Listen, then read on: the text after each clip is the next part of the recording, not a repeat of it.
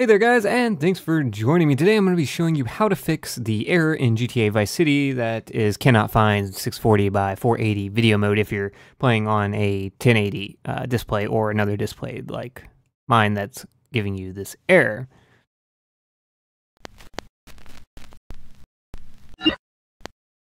Alright, so to fix this is pretty simple. What we're going to do is um, right click here, go into properties. If you have this up here, you can just go straight into properties. You can also do this by going into Steam, uh, scrolling down to Vice City. I can find it here, right clicking properties as well.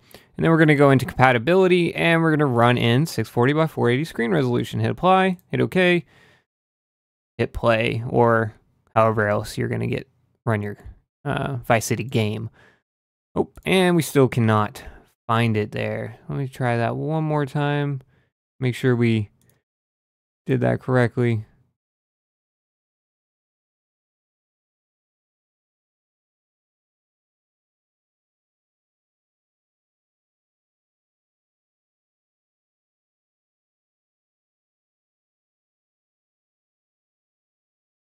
And we need to set our run compatibility. And compatibility run this in uh, Service Pack 2. Forgot about that.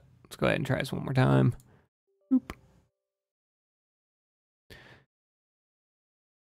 And now we should get a successful run, which is going to look really weird on my on OBS because I have my stuff set for 1080.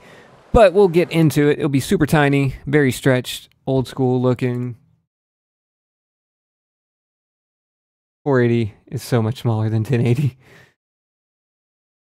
But once you get into the game here, we're just going to go ahead and change our settings to um, to be what we need them to be. So go into uh, settings, display settings, and then down here we should be able to switch to what we need, which is 1920 by 1080. Oop, it went off there for me. I'm using my keyboard. It's a little weird.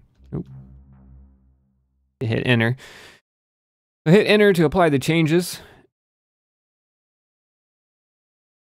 And our screen will go back to 1080 and it'll be a little weird.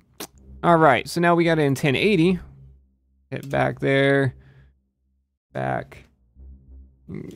As you can see, we can start the game up. Everything is in 1080 and make sure to put this in uh, compatibility mode Windows Service Pack 2 because if not, you will get crashes or not be able to start like I wasn't able to there um, at the beginning. But if we go out, just gonna go ahead and close out the game. Um, after you close out the game, go ahead and go back into your properties. Um, browse game files, right click, properties, compatibility, and then run in 64 by 48. Uncheck that, hit apply. And hit play.